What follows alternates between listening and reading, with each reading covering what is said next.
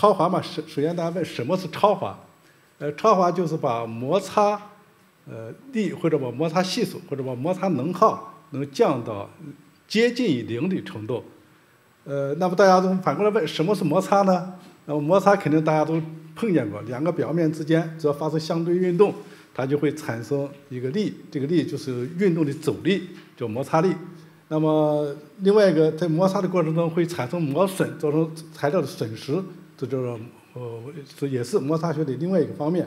这两个通在一块，就叫摩擦学。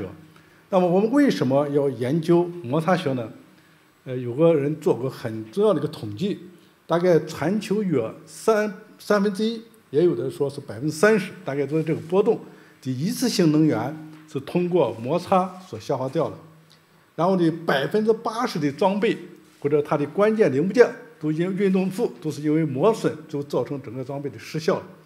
所以摩擦和磨损造成的损呃损失，相当于一个国家的 GDP 的百分之二到七。那么下面一个问题就是摩擦到底会不会消失？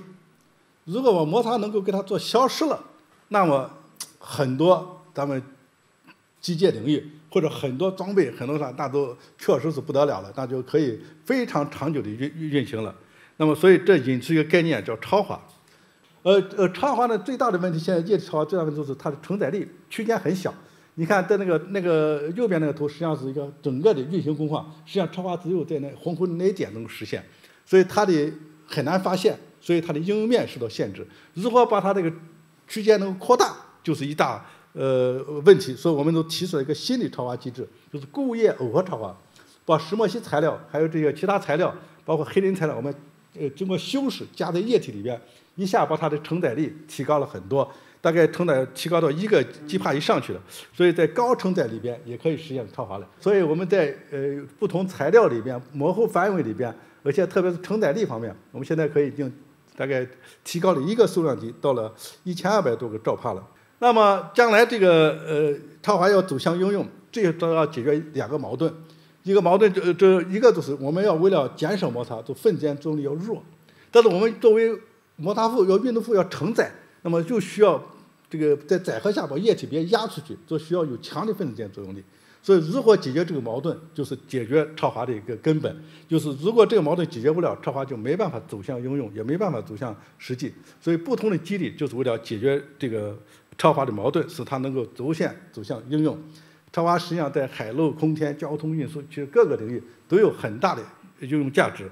那么现在呢，把它已经做到。呃，这个程度了，我们特别是摩擦系做到万分之一的，承载荷已经到了计划量级的。我们摩擦学也经常举个例子，就是这个当时亚述人在呃公元前一千八百多年前，把一个六十多吨的一个呃石像给搬移出去了，搬移动了。那么这个是一个非常重要的，其中用到了水就润滑。那么如果现在实现超滑呢，摩擦系数是万分之一的话，那么也就是六公斤的拉力，一个小孩子可以拉着它跑了。所以可以说有很大的。应用前景。那么从摩擦学来说，从钻木取火对人类贡献，滚动代替滑动，人类生产力和现代化的工业催生出来了。那么将来近零的摩擦和磨损也会对人类发展或者做出一个更大的一个贡献。那么超华的这扇大门已经打开了，希望咱们更多的呃青年学者能够更加重视这个领域的研究。我们要今天的目的不是要提高大家的科学素质嘛？除了？除了我们做绿色的呃发展，能够做绿色的生活之外，我们希望更多的呃年轻的科学家能够投到绿色的技术、绿色的科学方面研究，为人类做出服务。好，谢谢大家。